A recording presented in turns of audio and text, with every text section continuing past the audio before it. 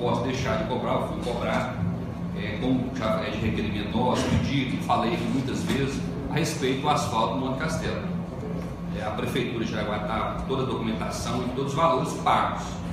Assim, o deputado Nélio Leite me informou. Só falta a parte do Estado. Então, peço a Vossa Excelência, vereador Roberto, que é o do governo, que traga uma resposta para nós, porque eu acho que não é justo é, ter feito aquela, toda aquela terraplanagem no povoado e agora, com o período de chuva, com certeza vai ser perdido. Então eu espero uma resposta, assim, tá? até para o pessoal do Mancasté que está nos ouvindo agora, e para dar uma resposta para o pessoal. Né? O asfalto começou, foi embora por conta de, de questões financeiras, já foi resolvida as questões financeiras. Vereador, um minuto para conclusão.